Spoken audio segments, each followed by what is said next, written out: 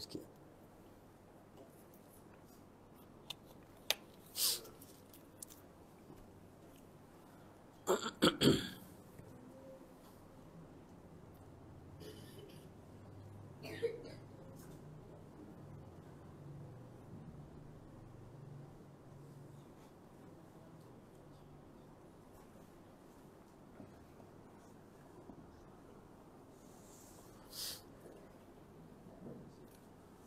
أعوذ بالله من الشيطان الرجيم. بسم الله الرحمن الرحيم. إن الحمد لله الحمد لله نحمده ونستعينه ونستغفره ونؤمن به ونتوكل عليه. ونعوذ بالله من شرور أنفسنا ومن سيئات أعمالنا. من يهده الله فلا مضل له ومن يضلل فلا هادي له. أشهد أن لا إله إلا الله وحده لا شريك له. وأشهد أن سيدنا وحبيبنا ومولانا محمدا عبده ورسوله. أما بعد لقد قال الله تبارك وتعالى في القرآن المجيد بعد أعوذ بالله من الشيطان الرجيم. بسم الله الرحمن الرحيم. يا أيها الذين آمنوا اتقوا الله ولتنظر نفس ما قدمت لغد. واتقوا الله إن الله خبير بما تعملون. ولا تكونوا كالذين نسوا الله فأنساهم أنفسهم أولئك هم الفاسقون. لا يستوي أصحاب النار وأصحاب الجنة أصحاب الجنة هم الفائزون. وقال تعالى إن الله عنده علم الساعة. وقال تعالى يوم يأتي بعض آيات ربك لا ينفع نفسا إيمانها لم تكن آمنت من قبل أو كسبت في إيمانها خيرا. قل انتظروا إنا معكم من المنتظرين. صدق الله العظيم. وقال النبي صلى الله عليه وسلم الكيس من دان نفسه وعمل لما بعد الموت والعاجز من أتبع نفسه هواها وتمنى على الله الأماني أو كما قال عليه الصلاة والسلام. السلام عليكم ورحمة الله تعالى وبركاته. Yang saya muliakan abaya kita selaku pengurusi majlis kita pada malam ini. Yang dihormati lagi dikasihi Tuan Pengurusi Surau Al-Amin.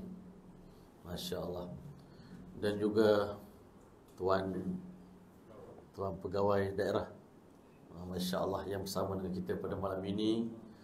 Juga Tuan-Tuan Haji, Puan-Puan Hajah Muslimin Muslimat, Hadirin Hadrat yang dirahmati oleh Allah Subhanahu Wa sekalian.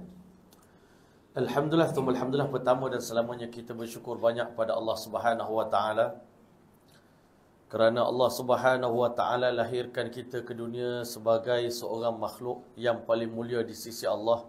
Tidak lain dan tidak bukan kita adalah makhluk yang bernama insan makhluk yang bernama manusia. Allah taala buat dunia ni untuk manusia. Dan Allah juga buat syurga dan neraka pun untuk manusia juga. Dunia ni merupakan alam sementara untuk kita Sementara syurga dan neraka adalah merupakan alam yang kekal abadi untuk kita semua.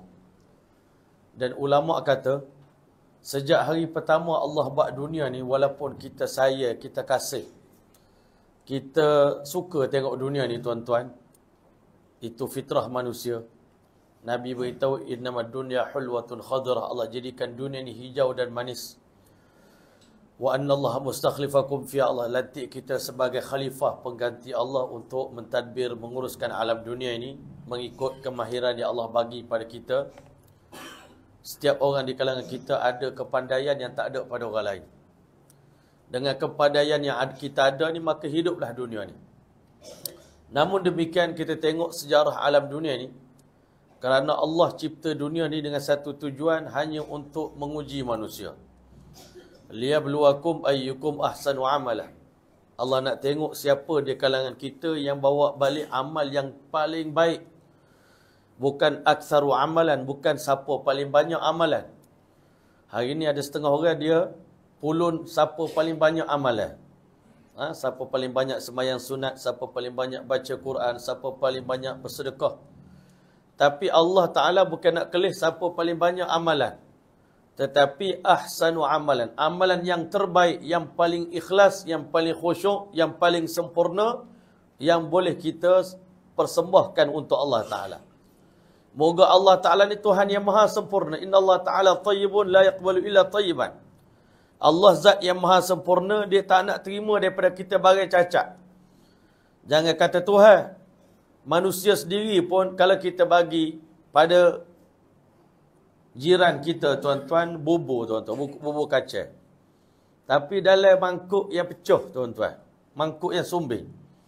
Walaupun bubur kacang tu sedap rasa dia, tapi kerana ada kesumbingan pada mangkuk saat ni, menyebabkan jiran kita ni jadi tawa hati.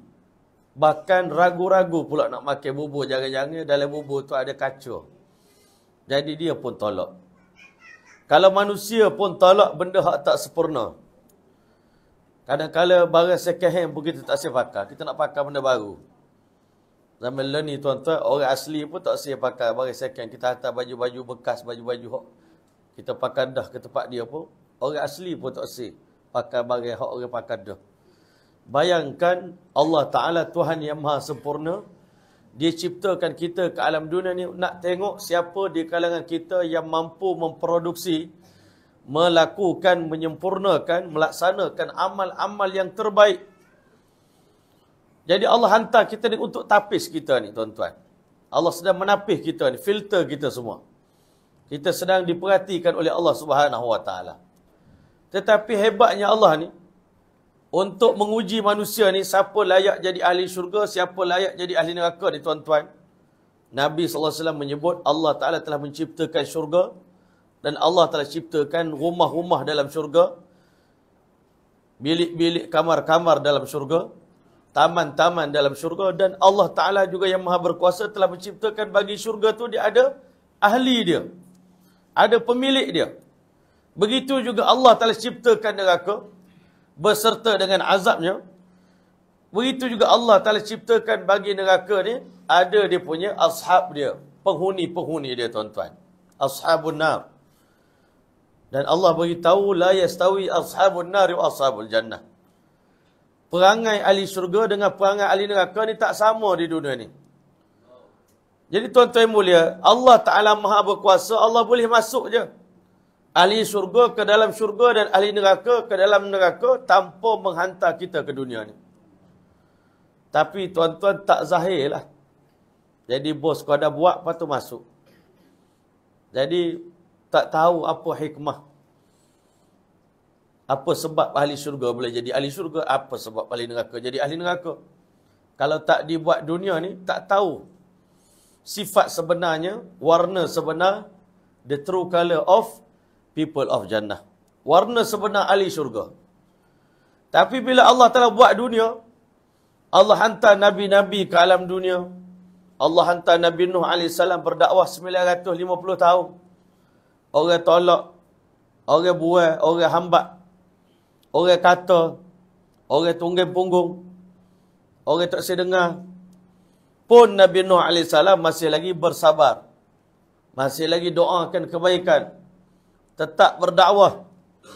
Akhirnya tuan-tuan, Allah Ta'ala zahirkan kemuliaan Nabi Nuh AS 950 tahun dia berdakwah tuan-tuan.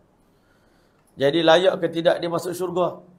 Dengan pengorbanan yang dia buat, memang layak. Allah hantar pula orang macam Fir'aun mari ke alam dunia ni tuan-tuan. Ulama kata Allah ni cipta manusia. Allah kasih kita ni lebih daripada kalau dihimpunkan kasih sayang semua ibu-ibu kepada anak di atas muka bumi ini, rahmat yang ada dalam hati ibu-ibu ni tuan-tuan, dibandingkan dengan kasih sayang Allah, kasih sayang ibu kepada anak ni seperti setitik air je tuan-tuan. Sedangkan sayang Allah pada manusia ni seperti lautan. Lautan rahmat Allah. Dan Allah buat keputusan, wa rahmati wasi'at kulla syai'. Rahmat aku lebih luas daripada segala sesuatu. Setara Fir'aun yang nakal, yang degil ke kepala ni tuan-tuan, yang jahat mengaku sebagai Tuhan. Iblis kata, setara aku ni, berat-berat aku ni tuan-tuan. Tapi aku tak bisa hayat lagi mengaku sebagai Tuhan ni. Tak bisa lagi. Tak berani. Iblis pun tak berani mengaku Tuhan. Tapi manusia ni bila dia tidak diislahkan, bila hati dia tak molek tuan-tuan, Masya Allah dia sanggup mengaku ana rabbukumul a'la. Tapi Allah yang maha pengasih, maha penyayang. Bukan kata sekali buat salah ni tuan-tuan, Allah langsung bedah selalu. Tak. Godai selalu. Tidak tuan-tuan. Allah tidak begitu. Kalau kita ni buat salah dengan kita sekali kak, tak ada maaf dah lah. Kan? Kena-kena selalulah. Ha, tidak ada ruang kemaafan, tidak ada ruang budi bicara kita ni kalau sesama manusia. Kerana rahmat di hati kita sikit. Tuhan ni tuan-tuan, Allah bagi tahu dalam Al-Quran, walau yu'akhidullahu an-nas bima kasabu, kalau Allah ambil setiap dosa satu azab. Satu dosa, satu azab. Ma taraka ala zahriha min dabbah, keputusannya sekali kena azab mati maka tak akan ada seorang pun hidup di atas muka bumi ini. Tapi Allah ni ditunggu, dibagi muhlah, dibagi peluang. Setara Fir'aun ni ulama kata sembilan kali peluang bertaubat Allah bagi pada Fir'aun. Hantar macam-macam petunjuk. Macam-macam ujian. Mari darah. Mari kutu. Mari katak. Mari macam-macam. Belalai. Macam-macam azab Allah hantar ke dia. Setiap kali mari azab, dia bertaubat. Oh, wahai Musa. Aku memang tak tahan dah dengan katak ni. Mari duduk dalam baju, duduk dalam mari, duduk tempat tidur. Mari masuk dalam kuali. Nak minum katak ada dalam gelas. Tak tahan dah tolong doa pada Allah Ta'ala. Mudah-mudahan Allah Ta'ala angkat bala ni. Maka Nabi Musa AS ni dia Nabi tuan-tuan. Hati dia peluah juga. Mudah-mudahan berkat doa ni bila aku angkat musibah Firaun nampak kebenaran aku dan Firaun ingin bertaubat pada Allah Taala. Musa pun saya Firaun. Pok akak dia tuan-tuan Firaun tu jak kecek duduk dengan Firaun. Nabi Musa masa kecil-kecil dulu pakai baju Firaun, pakai kasut Firaun. Pok akak dia tuan-tuan. Ha? Pok akak, anak akak raja. Firaun didoa oleh Nabi Musa AS, Allah angkat bala-bala ini tuan-tuan. Tetapi Fir'aun ni dikata setara mana hebat aku ni. Ha, bila musibah diangkat oleh Allah Ta'ala, dia, dia kata ke kaum dia, setara mana hebat aku ni. Aku suruh bala ni lah, pergi, dia pergi. Oh, betul lah aku ni Tuhan. Tuhan sekoti lah ni. Tuhan yang benar lah ni. Ha, depan Nabi Musa, dia cakap lain. Depan kaum dia, dia cakap lain. Ha, ini perangai. Akhirnya Allah telah buat keputusan untuk hancurkan Fir'aun. Jadi tuan-tuan yang mulia, Allah beritahu setiap bangsa yang Allah hantar, setiap umat yang Allah hantar ke dunia ni tuan-tuan, Allah bagi ada mudah dia, ajal dia. Daripada tempoh sekian period kepada period ini, umat ini mari ke alam dunia. Daripada tempoh ni sampai tempoh ini, umat ini mari ke alam dunia. Dan Nabi SAW menyebut, kalian umat akhir zaman, menyempurnakan umat yang ke-70. Berarti sebelum kita ni ada 60 umat, 69 umat dah mari ke alam dunia ni. Dan Allah telah telah tapis daripada umat Nabi Nuh yang juta-juta, hak masuk syurga cuma 82 orang saja. Pilihan masing-masing. Yang memilih jalan ke syurga tak ramai kata Imam Ahmad bin Hanbal. Hak pilih jalan ke neraka ni paling ramai. Dan hak pilih jalan ke syurga tu pun tak ramai yang istiqamah. Istiqamah ni berat. Bolehlah sekejap berhijrah bertaubat pada Allah Ta'ala. Tapi nak istiqamah sampai mati itu tak ramai kata Imam Ahmad bin Hanbal. Sebab apa? Jalan ke syurga ni pahit tuan-tuan berat. Huffatil jannatu bil makarih. Allah Ta'ala pagari syurga dengan benda yang nafsu tak suka. Nafsu kita tak berahi tuan-tuan. Bagi-bagi agama ni nafsu kita tak berapa berkenal. Nafsu memang tak suka agama. Yang suka agama adalah roh. Roh manusia berhajat pada agama. Sebab roh tahu. Bila kita mati esok, yang boleh membantu roh kita selamat di alam akhirat adalah agama. Perintah-perintah Allah Ta'ala. Jasad kita habis di sini, dia yang buat dosa. Tapi yang akan tanggung bebanan azab di alam akhirat adalah roh manusia. Kena pukul, kena rotai, roh kita. Jadi sebab itu tuan-tuan mulia Allah yang Maha Pengasih Maha Penyayang telah hantar Nabi besar Muhammad sallallahu alaihi wasallam itu sebagai nabi yang terakhir dan ulama kata salah satu daripada tanda-tanda kiamat. Saya tak tahu ini tajuk ceramah malam ni kan? Ini. Malam ni lah. Ha, betul lah. Tanda-tanda kiamat. Ulama bahagikan tanda-tanda kiamat ni tuan-tuan. Yang mana kita sedia maklum, kiamat itu satu benda yang pasti. Dijanjikan oleh Allah Ta'ala dalam Al-Quran, La uqsimu biyaumil qiyamah. Aku tidak bersumpah, mana aku bersumpah. Dengan besar dahsyatnya hari kiamat. Boleh katakan hampir setiap surah dalam Quran menceritakan tentang hari kiamat. Kita orang Islam wajib beriman dengan hari kiamat. Sekuat mana yakin kita pada hari kiamat, sekuat itulah kita akan beramal berbuat persiapan di alam dunia ini. Tapi kalau iman kita pada hari kiamat lemah, tak percaya ke hari akhirat, tuan-tuan yang mulia, salah satu daripada sikap ahli neraka yang Allah Ta'ala sebut dalam Quran, kenapa dia masuk neraka? Ma salakakum fi saqar, dia kata apa yang menyebabkan kamu dicampak ke dalam neraka sakar? Qalu lam nakum minal musallin. Yang pertama kami tak semayang di dunia dulu. Walam nakunu nut'imul miskin. Kami tak bagi makan orang miskin dekat dunia dulu. Wa kunna nakhudu ma'al khaidin. Kami terjun dalam dosa sama dengan kawan-kawan kami geng-geng kaki buat dosa. Wa kunna nukadzibu biyaumiddin. Kami mendusta, kami tak percaya hari kiamat. Orang kafir ni masa Nabi Muhammad SAW datang ke alam dunia ni, dia tak percaya hari kiamat ni lagu mana? Wahai Rasulullah, man yuhyil azama wa ramim. Siapa yang boleh menghidupkan kembali tulang-tulang yang telah hancur ni macam mana Allah Taala boleh cantumkan kembali? Dalam hadis Nabi sebut Allah cuma tinggalkan ajbuz zanab, tulang sebiji tulang saja daripada manusia ni untuk Allah bangkitkan kembali di alam akhirat. Allah bagi tahu qul yuhyiha alladhi ansha'aha awwal marrah. Tuhan yang menghidupkan manusia pada permulaan kali daripada tanah, daripada debu ni Allah buat kita cantik manusia ni. Allah yang sama akan membangkitkan kita sebiji macam mana wajah kita di dunia ini dengan fingerprint. Kita punya cop jari ni tuan-tuan sama dia punya pengenalan dia identiti dia sama dengan sewaktu kita berada di dunia ni tuan-tuan. Sebiji sama. Tak berubah langsung. Bukan sekadar Allah boleh buat muka kita sebiji macam mana di dunia ni. Ini cop jari ni. Kita orang Malaysia cuma cop jari ibu jari ya kita tahu. Kita ingat tanda pengenalan diri ni cuma pada sini. Tapi bila kita pergi ke Arab Saudi tuan-tuan. Arab Saudi dia tak pakai ibu jari. Dia pakai empat jari ni. Ha, empat jari. Rupanya empat jari ni pun boleh melambangkan diri kita juga. Allah akan buat sebiji balik. Bahkan Allah kata payah gapo nak kembalikan manusia ni. Ma khalqukum wala ba'thukum illa ka nafsin wahidah. Menciptakan manusia dan membangkitkan mereka sama di hari kiamat sama mudahnya di sisi Allah macam menciptakan satu nyawa manusia saja. Mudah sangat. Cuma orang kafir dia memikir secara logiknya, secara logikanya tuan-tuan, macam payahlah.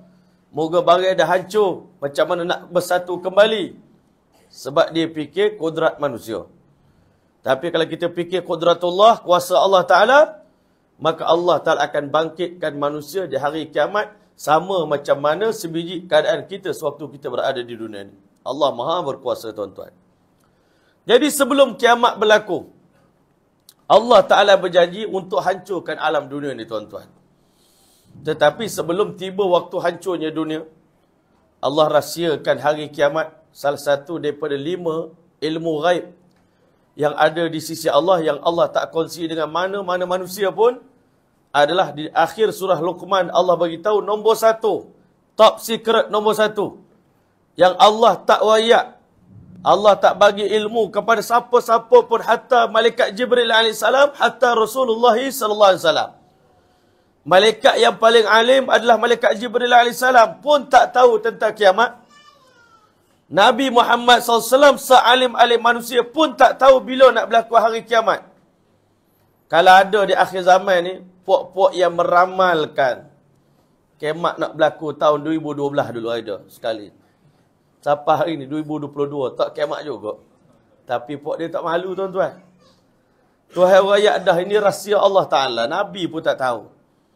Bila Jibril AS tanya pada Rasulullah SAW, akhbirni 'anis sa'ah ya Rasulullah. Khabarkan kepada aku tentang kiamat wahai Rasulullah sallallahu alaihi wasallam. Apa jawab Nabi? Nabi dah bagi clear cut dah tuan-tuan. Satu keputusan yang rasmi dibuat oleh Nabi SAW tentang kiamat. Tak akan ada siapa pun di kalangan makhluk ini yang tahu. Nabi jawab apa? Mal mas'ulu anha. Tiadalah orang yang ditanya tentang kiamat itu bi'a'lam terlebih mengetahui minas sa'il daripada yang bertanya. Orang kena tanya dengan orang orang yang nak menjawab dengan orang bertanya ni sama-sama tak tahu. Jadi malaikat Jibril alaihi salam bertanya kepada Nabi Muhammad SAW, mungkin kita tak tahu tentang tarikh kiamat. Cuma Nabi SAW bagi keluar. Kan? Hari kiamat begini-begini akan berlaku. Tetapi tuan-tuan mulia sekurang-kurangnya, Allah Subhanahu Wa Taala rahsiakan tarikh kiamat tetapi Allah izinkan kita mengetahui tanda-tanda kiamat. Alamat kiamat. Macam bila hari nak hujan tuan-tuan, hujan tu rahsia Allah. Inna Allah indahu ilmu sa'ah. Di sisi Allah ada rahsia tentang hari kiamat. Wa yunazzilul ghais. Allah tahu ilmu bila nak turun hujan. Wa ya'lamu ma fil arham. Allah tahu anak bayi dalam rahim itu anak yang bahagia atau anak yang celaka. Rahsia yang keempat, Allah SWT beritahu, "Wa ma tadri nafsun madza taksibu ghada?" Tak ada siapa pun yang boleh confirm esok dia nak buat apa. "Wa ma tadri nafsun bi ayyi ardin tamut?" Dan tak ada siapa pun yang mengetahui di bumi mana dia nak mati. Ini lima rahsia yang Allah Ta'ala tak bagi tahu pada siapa-siapa pun dalam dunia ni di bumi mana nak mati. Tuan-tuan yang mulia, Nabi beritahu apabila Allah takdirkan kematian untuk seseorang berlaku di dunia ni tuan-tuan, Allah ciptakan sebab dan hajat untuk dia pergi ke sana dan dia mati di sana. Tuan guru kami seorang tuan-tuan, nama dia Mufti Wali tuan-tuan. Dia satu orang yang daripada kecil sampai tua duduk di madrasah. Mengaji di madrasah, habis mengaji dia duduk di Darul Iftaq di Jamiatul Ulum Al-Islamiyah di Pakistan di Karachi sampai tua tuan-tuan duduk dalam itu. Cuma minggu terakhir hari dia nak mati tuan-tuan. Dia teringin nak pergi Afghanistan kata nak tengok Afghanistan malam. Sampai di Afghanistan waktu malam. Dia semayang tahajud tuan-tuan. Semayang tahajud dalam sujud Allah telah ambil nyawa dia. Dia tak sempat tengok pun bandar Afghanistan, bandar bandar Kabul tuan-tuan. Tapi rupanya Allah hantar dia ke sana untuk ambil nyawa dia di situ. Kita pun satu hari nanti begitulah. Kiamat ni ada dua ulama kata kiamat kecil, kiamat besar. Mati itu adalah kiamat kecil bagi setiap orang manusia. Kalau kita tak dan dengan kiamat besar tuan-tuan, kita pasti akan menghadapi kiamat yang kecil ini pada bila-bila masa saja. Man mata faqad qamat qiyamatu. Siapa yang mati berarti telah berlaku kiamat ke atas diri dia. Kematian dia tu sama dengan musibah. Musibah mati sama dengan musibah kiamat. Tetapi tuan-tuan mulia, ulama kata ada satu benda pelik rahsia nak kongsi dengan tuan-tuan. Pada hari kita lahir tuan-tuan, hari kita lahir dulu, semua orang di sekeliling kita ni tuan-tuan pakat pakat gembira dengan kelahiran kita lah. Pada hari kelahiran kita, pada hari maulud kita. Hari kita lahir tuan-tuan, mak ayah happy, adik-beradik happy, ayah happy. Zaman sekarang juga, bubuh dalam Facebook semua orang, congratulations. Tahniah, tahniah, tahniah. Tapi sore je teriak tuan-tuan, siap menangis, sore. Siapa yang menangis?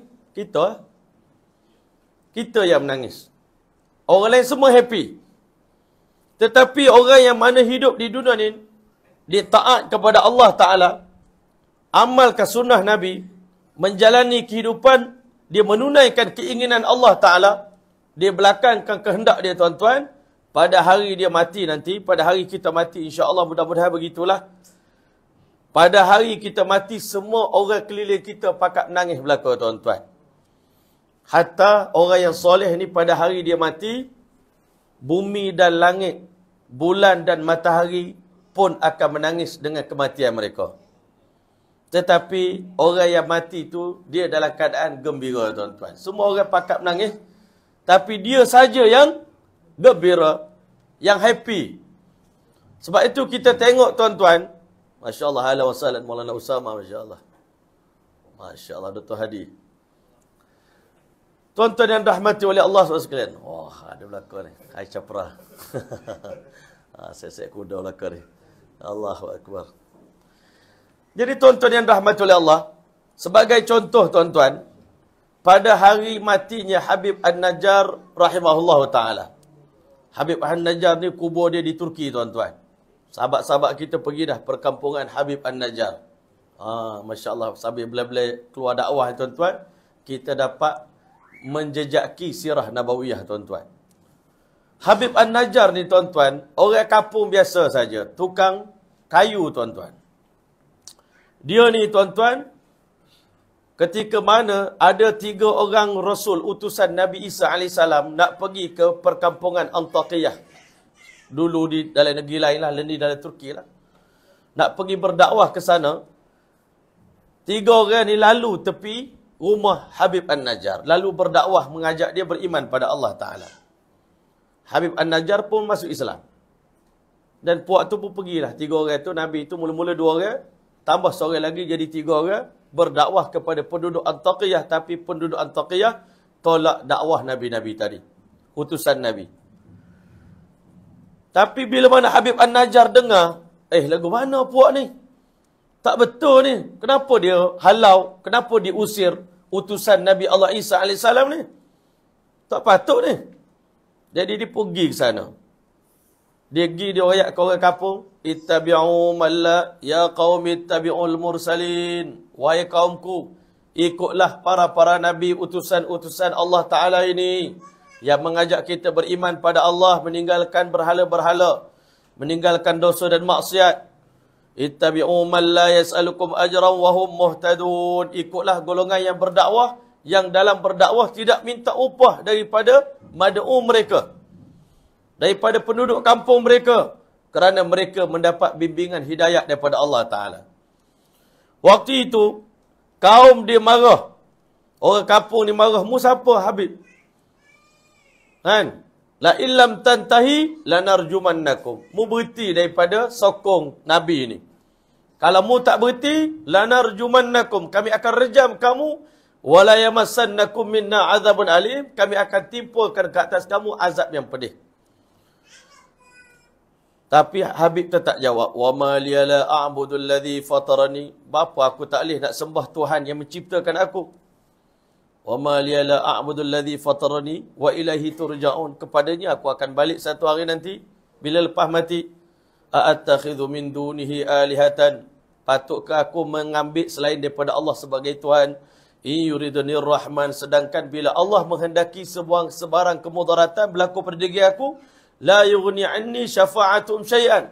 Syafaat daripada berhala-berhala sikit pun tak boleh menyelamatkan aku wala yunqidun dan tak dapat menghindari musibah daripada aku. Beriman dia, yakin dia kuat pada Allah Ta'ala. Akhirnya penduduk Antakiyah ni pakai igak dia tuan-tuan. Dan pijak perut dia beramai-ramai sampai terkeluar isi perut dia tuan-tuan. Mati Habib An-Najjar. Orang tengok tu memang ngeri lah tuan-tuan. Tapi kerana mati dia syahid di jalan Allah Ta'ala. Masa dia mati, Allah tunjukkan tempat duduk dia di dalam syurga Allah Ta'ala. Masa dia mati, Allah angkat roh dia ke langit. Sambil-sambil dia diangkat ke langit, dia mati orang orang keliling dia, keluarga dia menangis. Tapi dia mati dalam keadaan gembira, tuan-tuan. Sambil naik roh dia ke langit, dia mengatakan, Ya laita qawmi ya'lamun. Alangkah bertuahnya kalau kaum aku yang bunuh aku tu dia tahu apa nasib aku selepas mati? Mati syahid ni, apa nasib aku? Bima ghafarali rabbi. Allah telah ampunkan dosa aku 80 tahun aku hidup. Di dunia dulu aku syirik pada Allah Ta'ala. Dulu 80 tahun syirik pada Allah. Tapi bila aku masuk Islam, aku mati syahid, Allah ampun semua dosa syirik aku. Waja'alani minal mukramin. Allah jadikan aku orang mulia. Jadi ahli syurga. Masuk direct tu dalam syurga tuan-tuan. Inilah satu orang yang mana pada hari kita lahir, semua ahli keluarga kita happy dengan kelahiran kita, kita seorang saja yang menangis, tetapi satu orang yang beriman pada Allah, pada hari dia mati, semua orang menangis, tetapi dia seorang saja yang happy dan gembira. Ha, sebab itu sahabat Nabi masa tombak menembusi dada sahabat Nabi dalam perang tuan-tuan, sahabat Nabi itu kata fuz tu rabbil Kaabah demi Tuhan Kaabah aku telah pun berjaya. Orang kafir ni pergi tanya saya dia. Tanya orang beriman. Sebab apa bila aku bunuh dia, dia mati, dia kata dia berjaya. Oh ini barang pelik. Ini benda pelik. Aku ditanya, kawan dia yang beriman kata, Nabi SAW bagi tahu di antara kelebihan orang mati syahid di jalan Allah Taala ni sebelum nyawa dia dicabut oleh malaikat maut Allah tunjukkan tempat duduk dia di dalam syurga Allah Taala sebab itu dikata demi Tuhan Kaabah aku telah berjaya. Ha. Itu orang kata kiamat kecil.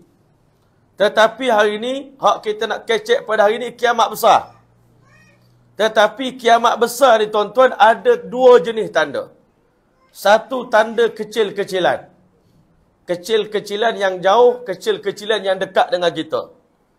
Tanda kiamat yang kecil, yang jauh, yang pertama sekali adalah kelahiran baginda Muhammad SAW dan kewafatan baginda SAW. Itulah tanda dunia ni dah nak kiamat. Nabi akhir zaman penutup bagi salah silah kenabian pun dah lahir dan dia pun dah wafat. 1400 tahun. Nabi beritahu bu'ithu ana wasa'atu kahatain aku dengan kemak sedekat dua jari ni jari telunjuk dengan jari tengah ni. Kalau Nabi rakyat kemak dekat 1400 tahun dulu maka tuan-tuan yang mulia kalau ada orang rakyat kemak lambat lagi itu bohong belaka tuan-tuan. Sebab Nabi rakyat kata dekat. Dan Allah pun sebut dalam Quran iqtarabatis saah kiamat telah dekat. Kiamat telah dekat. Kiamat telah dekat. Wahum fi ghaflatin mu'ridun. Cuma orang Islam pada hari ini dalam kelalaian. Tenggelam dalam kelalaian. Duk lupa lagi. Dalam keadaan dunia nak kiamat ni tuan-tuan ada dua golongan umat Islam. Satu lagi dunia nak hancur, lagi kuat dia bangun dunia. Lagi tinggi bangunan dia buat. Terutama negara Arab lah ni tuan-tuan. Kita heran negara Arab ni kawasan kawasan yang kosongnya banyak lagi tuan-tuan pada pasir. Hak dia tak bangunkan lagi. Malaysia ni tak apalah bandar kita ni penuh dah. Lepas tu kita sambung pula buat bandar satelit. Bagi panjang bandar kita. Ui, sampai kapung pun jadi bandar juga tuan-tuan. Kawasan kita ni semua dah makmur dah. Maju dah. Fasilitas-fasilitas dia orang kata kita negara kita ni maju dah. LRT ada, MRT ada, gapo semua airport comel-comel dah. Orang Arab ni airport tak setara mana lagi. Tapi bangunan tinggi dia nak buat. Oh, pelik juga tuan-tuan. Patut kalau orang kafir buat tu, maknanya tak apalah. Moga dia ni, hadis Nabi menceritakan tanda kiamat yang dekat dengan kita. Antalidal amatu rabbataha. Seorang ibu akan melahirkan tuan dia. Akhir zaman ni, anak ni ngaji cidik-cidik lah sekali, mak dia kena jaga anak dia. Mak jadi hamba kepada anak sendiri, Masya Allah mak makan gaji dengan anak. Ha, itu tanda kiamat yang dekat dengan kita, hak duduk sekeliling kita lah. Hak tanda kiamat dah dekat. Sepatutnya anak, bila mak dah dah tua, anak pera mak pula. Lain ni mak kena pera anak, patut kena pera cucu pula. Ha, itu tanda kiamat dah dekat dah tu. Yang kedua, wa antaral hufatal oratal alata, kamu akan tengok orang yang dulu, masyarakat yang dulunya berkaki ayam, pengembala kambing, orang miskin, Ya yatatawaluna fil bunyan pakat belumba nak buat bangunan pencakar langit.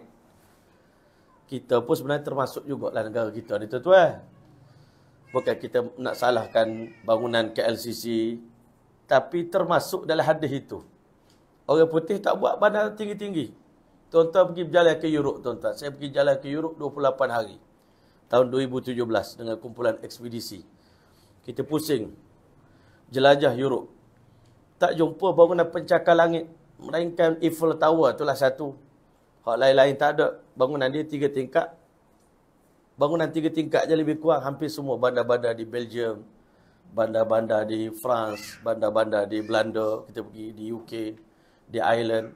Tak ada pun sangat bangunan pencakar langit ni tuan-tuan.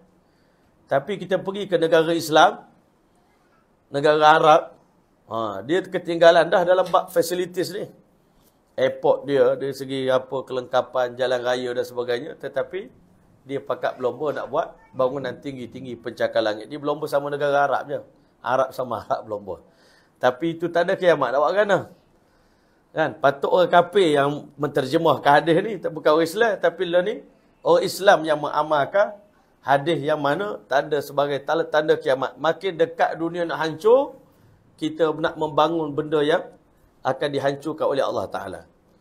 Tapi orang cerdik tuan-tuan, bila kiamat dah dekat, maknanya kita tak kena fikir banyaklah patah benda yang kita nak tinggal ni. Kita kena fikirlah nak membangun tempat duduk kita yang kita nak duduk selama-lama dalam syurga esok-esok. Dan semetelah tuan-tuan, syurga ni paling kecil pun 10 kali ganda luasnya daripada dunia ni. Jadi, kalau kita nak tanam pokok pun tuan-tuan, nak tanam pokok buah-buahan untuk kita syurga kita, main dengan umur kita 40 ni tengah 20 tahun je lagi masa nak kita memenuhkan syurga kita yang kosong itu dengan bangunan-bangunan, dengan taman-taman, dengan istana-istana, dengan pokok-pokok buah. Tuan-tuan orang cerdik kata Nabi, man dana nafsahu wa amila lima ba'dal maut. Dia muhasabah diri dan buat persiapan untuk menghadapi kematian. Ha, Masya Allah. Tapi orang yang tak cerdik, dia fikir dia akan buat segala-galanya di dunia, akhirat esok kita tengoklah lagu mana Allah nak bagi. Tengoklah kalau Allah bagi pondok pun pondok lah hamba duduk. Hamba reda lah. Duduk tu pondok buruk pun tak apalah dia akhirat esok. Dapat pokok buah-buahan dua tiga batang pokok pun tak apalah. Tuan-tuan, sehari dua boleh lagi. Tapi kalau duduk selama-lama tuan-tuan, Esok kita akan mengeluh, Ya Allah, tak jadi main dengan pondok buruk lagu ni.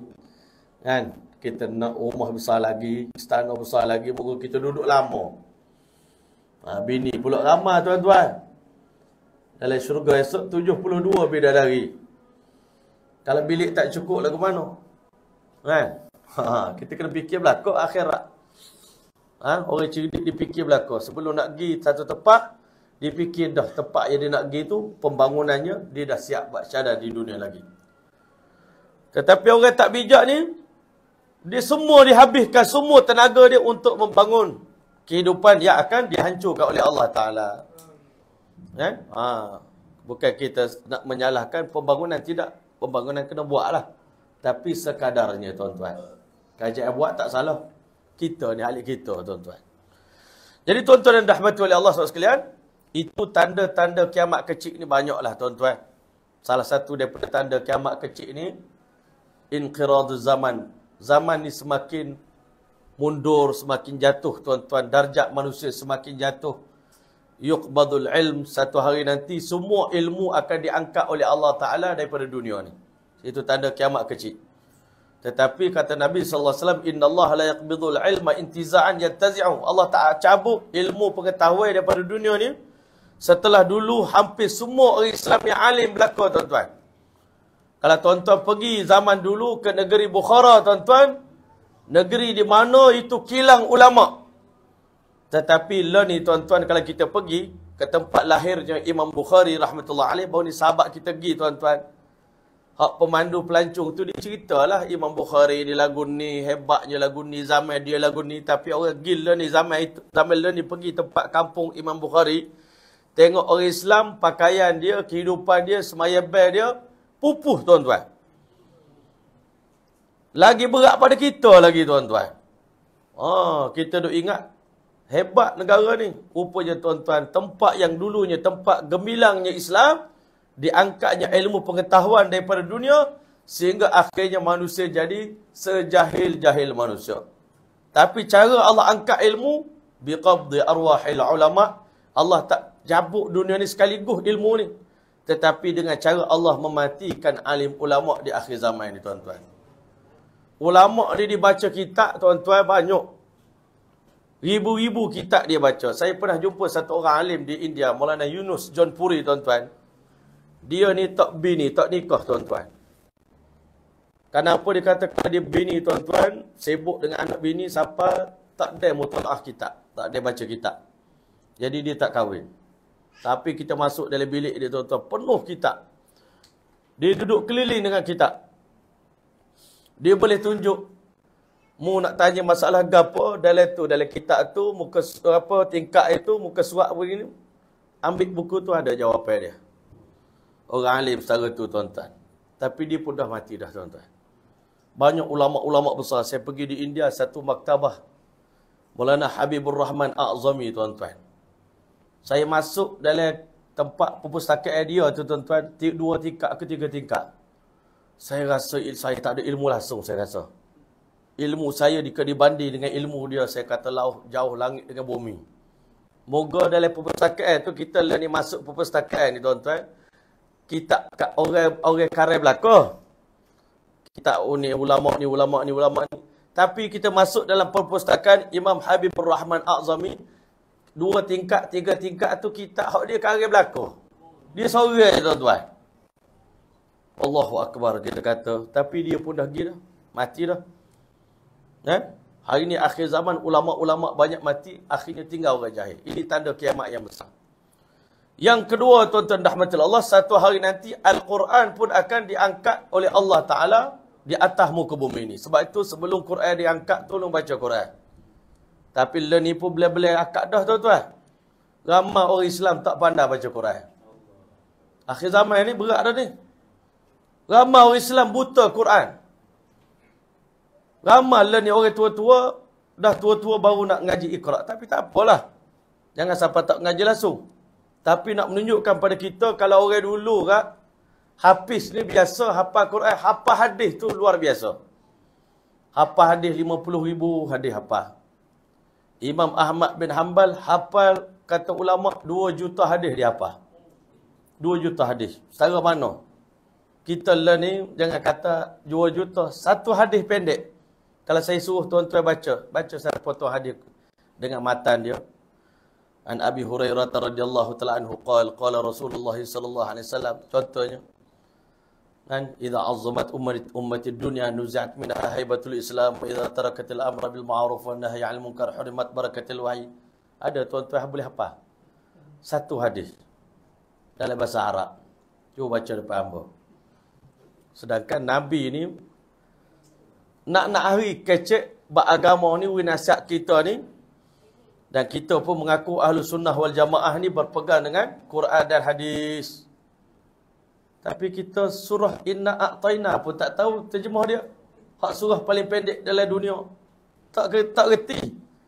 Pas nak pegang dengan Quran hadis lagu mana? Cuba fikir. Surah paling pendek pun kita tak tahu tafsir dia. Fatihah pun belum tentu semua ada orang boleh boleh terjemah Fatihah dengan sempurna. Doa kunut. Suruh terjemah doa kunut. Tak reti. Doa iftitah tak pandai. Hak baca hari-hari tu. Jangan kata doa-doa lain. Nak beritahu pada kita jauhnya kita daripada ilmu pengetahuan. Ini tanda kiamat dah ni. Jangan kata orang kafir itu jauh. Orang Islam sendiri tuan-tuan. Eh? Orang Islam tinggal semayang. Yakthuru zina. Nabi kata di akhir zaman. Banyaknya zina. Banyaknya lahir anak luar nikah. Yakthurul haraj. Pembunuhan berleluasa. Eh? Banyak berlakunya. Di, orang minum arak. Di mana-mana kata Nabi dan banyaknya muzik-muzik. Di merata tempat ada muzik. Sampai dalam masjid pun ada muzik tuan-tuan. Ha. Cara itulah zaman semakin pupus. Ini tanda kiamat yang berada di sekeliling kita. Dan ulama bila-bila ni tanda kiamat kecil ni hampir habis dah tuan-tuan. Hak Nabi sebut dalam hadis tu berlaku-berlaku dah. Diangkat amanah daripada dunia ni, daripada hati orang Islam sampai dikatakan tak akan ada lagi amanah orang yang jujur dalam dunia ni tak ada dah tuan-tuan. Melainkan semuanya khianat-khianat berlaku tuan-tuan. Ha, ini Nabi beritahu. Dan saya terbaca sepotong hadis tuan-tuan. Akan berlaku fitnah sebelum berlakunya tanda-tanda kiamat yang besar ni tuan-tuan. Dia akan berlaku fitnah tuan-tuan. Mula-mula fitan baru berlaku malahib. Fitan ni fitnah-fitnah yang berlaku yang meng, menggelincirkan kaki orang Islam tuan-tuan daripada keimanan pada Allah Taala. Eh? Yang pertama Nabi sebut dalam hadis fitnatul ahlas. Ha, ini berlaku dah zaman Covid ni tuan-tuan. Ha, itu salah satu daripada Covid ni pun salah satu tanda kiamat juga tuan-tuan. Nabi sebut fitnatul ahlas. Ahlas ni macam tika ni. Dia tak tak berganjak daripada tempat dia. Bila tika ni kita letak di situ, dia tak akan pergi ke tempat lain. Dia duduk situ je. Maknanya, bila berlakunya fitratul ahlas ini, orang Islam tak akan berganjak daripada rumah. Dia duduk rumah je tuan-tuan. Dua tahun setengah duduk rumah. Ha, dua tahun setengah jadi imam. Jadi khotib. Ha? Baca khutbah raya. Ha, itu fitratul ahlas. Yang mana Nabi kata, bila berlaku fitrah ini tuan-tuan, yakunu harabun harabun. Orang pakat lari-lari antara satu sama lain dan orang hilang daripada masyarakat. Ha, zaman Covid kan. Nak salah pun takut. Kan? Eh, demo jangan salah dengan hamba. Ha? Covid. jangan dekat dengan hamba deh. Ha, kalau batuk lagi berat. Ha, batuk bersing dalam masjid. Allah itu takut benar. Jangan dekat. Keep distance. Keep your distance. Eh? Jangan dekat-dekat. Dan dia kata zaman di mana orang pakat lari antara satu sama lain. Adik-beradik lari pada adik-beradik. Orang lari pada mak ayah. Setahun tak jumpa dengan mak ayah. Raya pun tak boleh balik. Dan harabun. Dia kata macam kena colik. Saya fikir ke mana hadis ni. Rupanya bila pak mentua saya meninggal dunia tuan-tuan. Dulu kita duk tengok orang lain mati diurus secara jenazah secara itu tu Allah kita rasa berat dah. Tapi bila kena ke pak mentua saya sendiri bila dia pergi ke hospital tu kita dah tak boleh jumpa dengan dia dah. Diuruskan jenazah dia, semaya jenazah pun hospital buat. Dia pun tak boleh dimandikan, cuma bubuh. Bubuh apa tanah je, debu je. Lepas tu bila dikebumikan, keluarga boleh tengok daripada jarak yang jauh. Oh, ibarat kata itu macam dah habis, kena colik habis. Ha, tuan-tuan. Tapi kita tak boleh nak, nak kata specifically hadis ni pada itu. Tapi bila kita tafsirkan hadis ni, macam sesuai dengan zaman itu. Kemudian dalam keadaan muncul fitnatul ahlas ni tuan-tuan, Nabi sebut akan muncul pula fitnatul ha, fitnatul sarra. Fitnatul sarra ni fitnah happy-happy, budaya happy-happy. Kita tengok Arab Saudi tuan-tuan masa tengah duk Covid.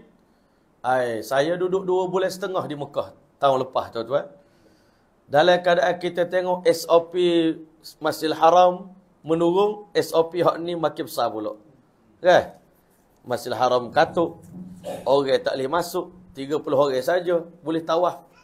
Saya pun antara 30 orang yang bertawaf di Masjidil Haram masa tu. Oh, berasa pelik juga. Tapi betul lah. Alhamdulillah lah. Syukurlah pada Allah Ta'ala orang lain tak boleh pergi, kita, kita, kita seorang yang boleh pergi. orang luar negara tak ada langsung. Kita aja Duduk Mekah masa tu buat tawaf. Allah, 30 orang aja tawaf. Nak tunggu maghrib, kita pusing dekat 30 kali pusing. Pusing, pusing. Kalau kita berhenti, kena hambat tu tubik. Jadi kita tunggulah.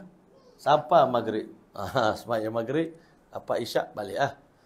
Jadi tuan-tuan yang mulia, dalam kali itu kita tengok Allahu Akbar. Orang putih dah boring dah tengok konsert. Orang Islam baru nak start tengok konsert. Allah. Setara pelakon industri yang dah, dah nak pencing-pencing tu pun naik lagi. Ha, dia angkat-angkat lagi. Itu kita boleh tengok depan mata kita lah tuan-tuan. Fitnatul sarra. Kemudian akan datang satu lagi fitnah yang paling besar sebelum nak berlaku kiamat besar ni tuan-tuan fitnatul duhaimah. Hak ni yang kita takut sekali tuan-tuan. Fitnah, fitnah yang begitu gelap sampai tak boleh beza antara hak dengan batil. Fitnah ini akan menampar pipi tiap-tiap orang beriman. Semua pakat kena tampar berlaku. Jadi baru ni tuan-tuan, sahabat saya Maulana Wan Tahir tuan-tuan di Shah Alam. Bila dia tengok fitnah berlaku antara ustaz dengan ustaz pakat balah ni tuan-tuan dan pengikut follower-follower ustaz ni pakat maki hamu follower ustaz sana, follower ustaz sana pakat maki hamu follower ustaz sini. Netizen-netizen pula tak tahu kok mana. komen ikut saya tuan-tuan. Netizen ikut suka dia lah. Jadi dia pun buat keputusan ajak saya-saya pergi pergi ke Pakistan cari tok guru yang dikatakan sangat dekat dengan Allah Taala. Tanya dia nak buat lagu mana lah ni. Kita pun jadi pening dah. Nak kita pun kadang-kadang duduk dalam dunia Islam ni pun bukan dengan kata duduk dalam dunia maksiat. Dunia sama-sama orang ngaji. Dunia sama-sama orang orang semaya ni pun tuan-tuan pakat balas sama sendiri ni siapa kita tak tahu mana hak betul mana hak salah dah. Pakat kata mengata ni kita duduk tengok eh orang Arab jahiliah dulu pun tuan-tuan masuk bulan Zulqa'dah ni tak balas dah dia. 4 bulan haram ni dia tak balas walaupun bulan lain dia pergi berkelahi tapi masuk bulan ni bulan haram kita kena kena ber, kena berhenti. Kena beradu. Tapi orang Islam ni, bulan puasa tu, yang bulan yang kita kata kena kontrol diri. Kalau ada orang ajak balas dengan kita, kena rakyat kata, ini sa'imun. Aku setengah puasa ni, mu nak, nak menang, mu ambil menang lah. Aku tengah puasa ni, aku tak aku boleh balas dengan mu, tapi tak, tak kena, ini bulan puasa. Tapi kita ni tengok, bulan puasa tu lah paling sakit sekali. Kalau buka Facebook ni kak, Allahu Akbar. Baik, berperang lagi bulan puasa. Ha, nak kata beratnya fitnah yang menimpa semua orang Islam. Termasuk orang-orang yang soleh. Jadi sahabat saya pergi jumpa Tok Guru dia. Tak ada tak ada wayak ke Tok Guru. Apa sebab mari daripada jauh daripada Malaysia ni nak pergi ngadu dengan Tok Guru, tolong wayak kepada kami apa jalan nak buat learn ni dalam keadaan sekarang ni. Tok Guru tak tanya dan tak ada wayak lagi. Tok Guru wayak selalu dah. Sampai-sampai tu alim ni ustaz ni ulama ni maulana ni rakyat dia di akhir zaman dia kata zaman learning ni dia kata tiga golongan yang paling tinggi kedudukannya dalam Islam pun akan terlibat dengan fitnah akhir zaman. Dia kata yang pertama dia kata orang alim. Orang alim pun kalau tak berhati-hati terkena juga fitnah akhir zaman. Fitnah dajjal ni tuan-tuan. Yang kedua dia kata orang soleh. Orang soleh hak semaya bel tak berhenti ni pun akan terkena juga fitnah akhir zaman. Yang ketiga tuan-tuan orang bertakwa. Orang hak memang jaga makan minum, jaga tu orang soleh, orang warak tuan-tuan pun akan terkena fitnah akhir zaman kalau mereka meninggalkan sunnah Nabi Muhammad sallallahu alaihi wasallam. Sunnah Nabi ni bukan sunat tuan-tuan. Hari ni banyak orang kata pakai sugi sunat. Eh, semaya jemaah sunat ya. Tapi sebenarnya sunnah ni penyelamat di akhir zaman ni. Sipai janggut sunat. Tapi kat sipai janggut kita selamat. Pakai sugi sunat. Tapi pakai sugi itulah menyelamatkan kita daripada fitnah akhir zaman. Jangan anggap kecil. Sunnah ni lah penyelamat kita. Bahtera penyelamat daripada fitnah akhir zaman. Dia ayat jelas. Orang soleh, wali-wali, tok wali, Orang bertakwa pun akan terkena fitnah akhir zaman. Bila dia balik pada daripada Pakistan, pergi Mekah. Jumpa dengan saya di Mekah malam bulan puasa. Dicerita saya benda ni. Oi, saya kata berat ni. Tapi saya terdapat pula sebuah sambungan. Sambungan daripada apa yang dicerita tu, Allah bagi ilham pada saya. Kebetulan sebelum saya pergi Mekah baru ni bulan puasa, saya baca dalam kitab Imam Al-Ghazali rahmatullahi alaih bagi tahu dia kata manusia ni di akhir zaman ni akan penuh dengan dua benda tuan-tuan. Sebab kita jadi sesat di akhir zaman ni walaupun kita orang soleh, orang ngaji, orang orang baik, orang dakwah, orang gapo ni pun akan terkena fitnah akhir zaman disebabkan dua benda tuan-tuan. Yang pertama syirik khafi tuan-tuan. Syirik khafi ni apa ni tuan-tuan? Syirik yang tersembunyi. Satu hari sahabat Nabi ber, berdebat, berbincang tentang Dajjal. Bahaya Dajjal ni semua pakat takut belakang. Nabi tubik daripada bilik dia, rumah dia, dia tanya, Puak-puak mu ni duk bincang harga apa? Muzakarah hal apa ni? Dia kata, Natazakaru Dajjal, kami bermuzakarah tentang fitnah Dajjal. Oh, Nabi kata, ada satu fitnah yang lebih besar yang lebih aku bimbang daripada fitnah Dajjal. Lebih berbahaya daripada fitnah Dajjal. Oh, kita ingat Dajjal tu besar sekali dah. Tapi kita terlupa dengan satu benda, kalau ada sifat ini dalam diri kita, Dajjal boleh masuk. Dajjal boleh menguasai kita. Apa benda Nabi kata asyirkul khafi. Syirik yang tersembunyi dalam hati kita. Syirik khafi ni? Riak tuan-tuan. Riak ni pula ada dua. Dulu sebelum kita jadi baik, masa kita nakal-nakal, dulu kita riak nunjuk orang kereta kita, motor kita, tunjuk orang body kita, muka kita semat, tunjuk dalam Facebook, tunjuk ke apa. Semua hak zahir kita, kita tunjuk belakang.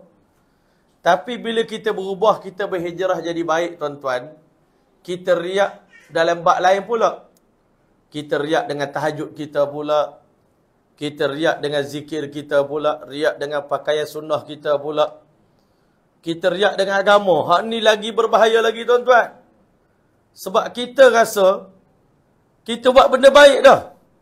Tapi tak sedar di situ ada permainan syaitan. Ha, ini bahaya. Orang lagu ni tak selamat daripada fitnah dajjal.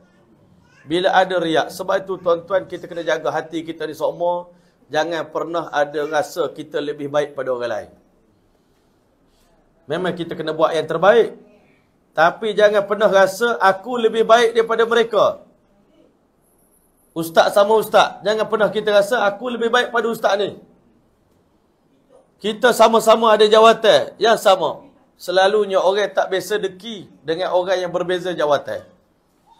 Doktor tak akan ada masalah dengan seorang. Orang kata tu kan siapa-siapa, tak ada sama. Tapi sama kita tuan-tuan. Ustaz sama ustaz. Dia akan muncul perasaan persaingan tu.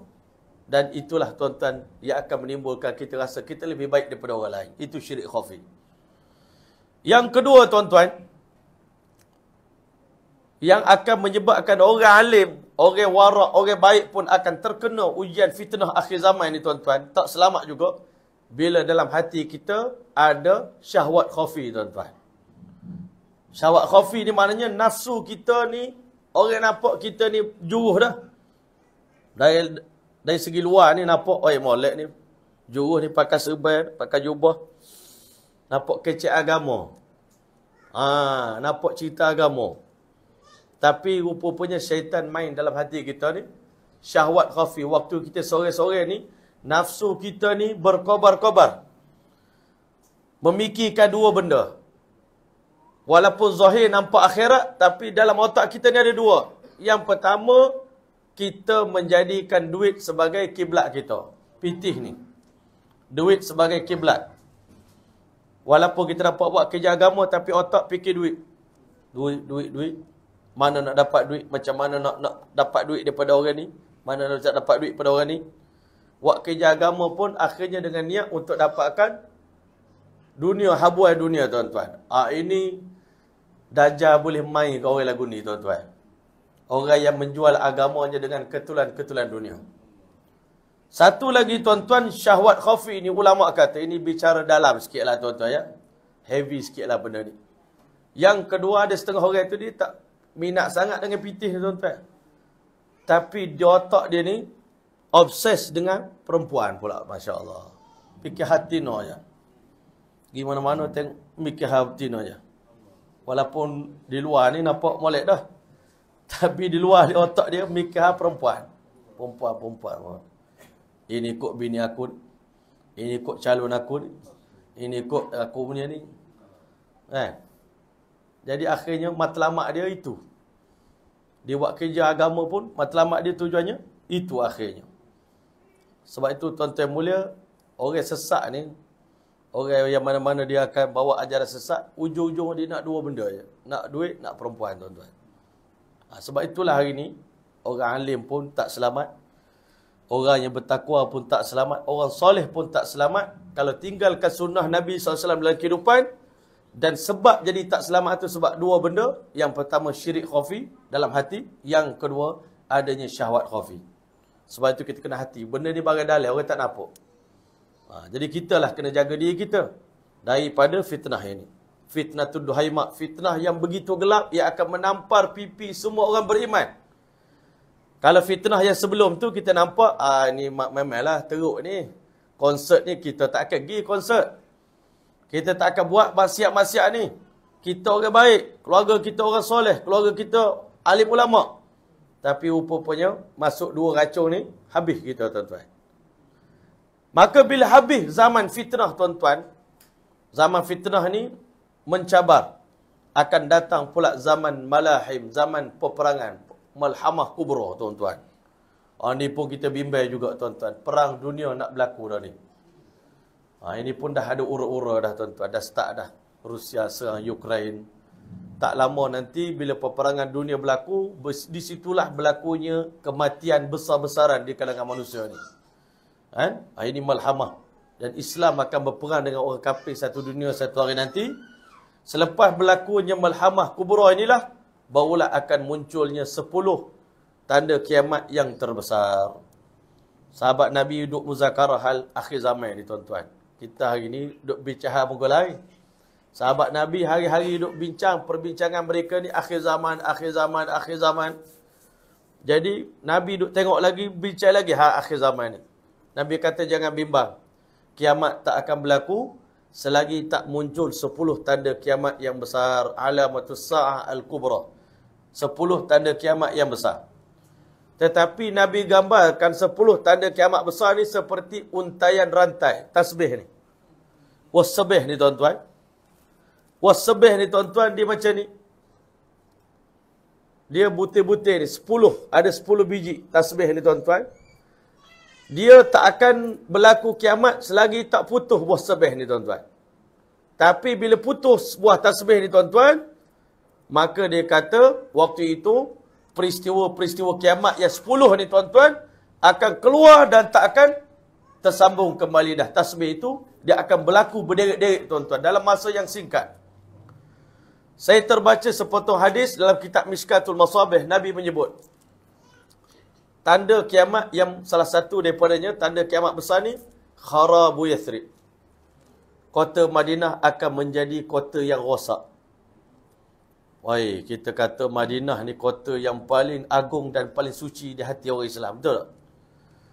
Kita ni tak boleh bayang Madinah akan jadi rosak.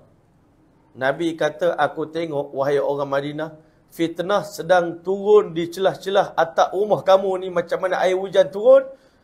Fitnah sedang muncul di atap-atap rumah orang Madinah. Ha. Saja nak cerita baru ni, saya pergi ke Mekah tahun lepas tuan-tuan, satu perkampungan untuk dibuat di tepi Masjidin Nabawi satu perkampungan seluas 2000 hektar tanah tuan-tuan. Nak jemput orang seluruh dunia mari buat rumah, ha? mari buat rumah mereka, rumah kedua di Madinah Al-Munawwarah ni tuan-tuan. Ha, kalau dah jemput orang luar duduk di Madinah dekat tuan-tuan, orang kafir mari duduk, dia bukan mari dia saja, dia akan mari bawa budaya dia sekali, ke situ dan mulai daripada hari itulah akan berlaku kerosakan yang sangat dahsyat pada Madinah. Dan Nabi SAW beritahu kharabu Yathrib. Bila berlakunya kerosakan di Madinah Al-Munawwarah, Umranu Baitul Maqdis. Baitul Maqdis akan menjadi kota yang makmur. Apa maksud ni tuan-tuan? Bila orang Islam mula bergerak bersama dengan tentera Imam Mahdi AS daripada Mekah dan Madinah menuju ke kota Baitul Maqdis, maka Madinah dan Mekah akan menjadi kota yang kosong. Dan tambahan pula dengan kerosakan fitrah yang berlaku, maka tuan-tuan yang mulia, walaupun hari ini ramai orang nak pergi hijrah ke Madinah, tuan-tuan, itu satu tempat yang baik, tetapi kalau kita tak persiapkan kekuatan iman yang sempurna, orang duduk dalam Madinah pun akan lari daripada Madinah. Eh? Bahkan Dajjal akan mari ke Madinah Al-Munawwarah sampai di istana dia di Bukit Garam. Dan ni kalau kita pergi ke Bukit Uhud tuan-tuan, Mutawif akan tunjuk itu istana Dajjal, itu istana Dajjal. Lagu mana kita boleh confirm itu istana Dajjal? Nabi sebut dia di atas Bukit Garam. Bila ulama kaji memang itulah Bukit Garamnya. Dajjal mari ditunjuk ini istanaku tetapi yang istana berwarna putih itu Masjid Nabawi adalah istana Muhammad sallallahu alaihi wasallam. Nabi kata Madinah ni ada tujuh pintu. Di setiap pintu itu dikawal oleh para-para malaikat yang menghalang Dajjal untuk masuk ke Madinah. Dia tak boleh masuk tapi dia masukkan fitnah dia macam sihir ke dalam Madinah Al-Munawwarah. Dia akan hentakkan kaki dia dua tiga kali hentakan menjebakkan tuan-tuan orang munafik akan lari meninggalkan Madinah Al-Munawwarah. Semua akan lari keluar akan tinggalkan Madinah. Waktu itu tuan-tuan, Madinah menjadi kosong, negeri bumi yang tak ada penduduk tuan-tuan, tetapi Baitul Maqdis akan menjadi sangat-sangat makmur. Orang Islam pakat berkampung di Baitul Maqdis, semayang di sana hidup, amal di sana di Baitul Maqdis. Dan Umranu Baitul Maqdis Fathul Qustuntuniyah. Nabi beritahu bila mana Baitul Maqdis telah makmur hidup maka umat Islam akan menakluki kota Konstantinopel. Eh kita kata is, bukan Istanbul dah Islam kalau ni. Islam hanya pada nama tuan-tuan. Kita duk ingat Turki ni hebat Islam tak tuan-tuan. Kalau pergi ke Turki bukan kita nak cerita keaiban orang Islam lah. Tapi hakikatnya kalau pergi semayang subuh tu kat tuan-tuan, berapa orang je semayang di masjid? Tak ramai tuan-tuan. Dan negara itu masih lagi dikuasai oleh orang kata luar lah, orang luar menguasai. Jadi sebab itu umat Islam akan menakluki negara Konstantinopel ini, Istanbul ini buat kali yang kedua. Penaklukan yang menyeluruh tuan-tuan. Dan Nabi SAW beritahu, Fathul Konstantiniyah, Khurujud Dajjal. Lepas umat Islam menakluki kota Konstantinopel, waktu itu Dajjal akan muncul. Tetapi jarak di antara keempat-empat peristiwa ini berlaku dalam tempoh tujuh bulan saja tuan-tuan. Fi sab'ati asyur.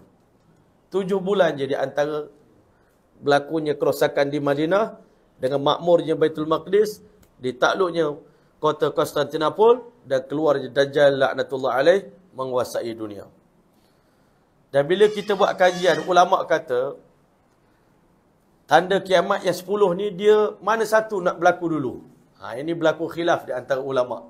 Sebab hadis tak ada sebut secara spesifik. Nak berlaku ni kena mesti keluar ni dulu, keluar ni dulu, keluar ni dulu. Tapi kalau kita ikut secara logiknya tuan-tuan. Tanda kiamat yang pertama, ada ulama kata duhan keluar dulu. Ada ulama kata keluar Mahdi AS dulu. Kan?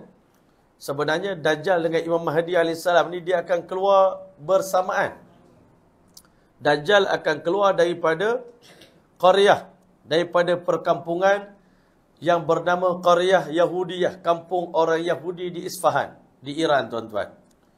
Di sana akan keluarnya Dajjal bersama dengan 70 ribu tentera tentera-tentera Yahudi tuan-tuan daripada Isfahan dan apa Imam Mahdi AS akan keluar daripada Khurasan bersama dengan tentera-tentera daripada Khurasan yang memegang panji-panji hitam.